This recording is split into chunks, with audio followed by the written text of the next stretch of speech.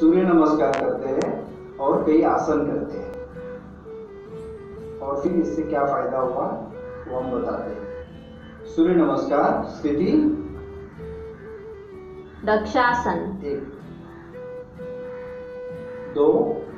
नमस्कार आसन तीन। पर्वतासन। चार। हस्तपादासन। पाँच. एक पाद प्रसरणासन छः.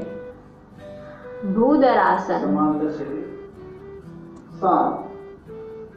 अष्टांग प्रतिपातासन आठ. भुजंगासन. नौ. भूधरासन. दस. एक पाद प्रसरणासन हस्तपादासन। बारह नमस्कारासन। धन्यवाद। इसके बाद में हम करते हैं शीर्षासन। शीर्षासन।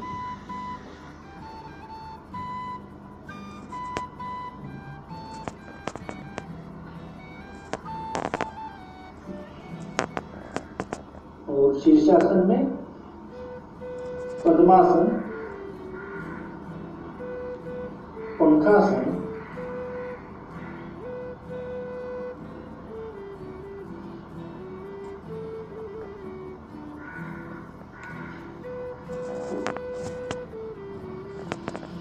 इसके बाद में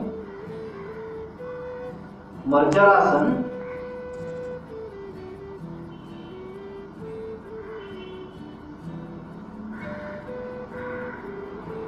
श्वानासन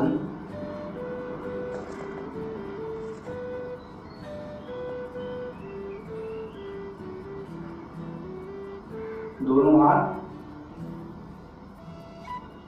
दोनों एक हाथ और एक पाँव सेम ये दोनों हाथ काम नहीं किया। वज्रासन।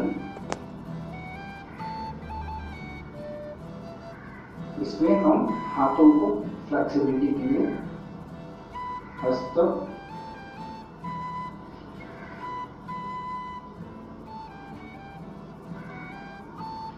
हाथ की फ्लेक्सिबिलिटी के लिए। हमारा जीवन में पूरा जीवन परिवर्तन हुआ। मानसिक शारीरिक आध्यात्मिक यह सब भी परिवर्तन यहाँ से हुआ है योग से हुआ है। धन्यवाद।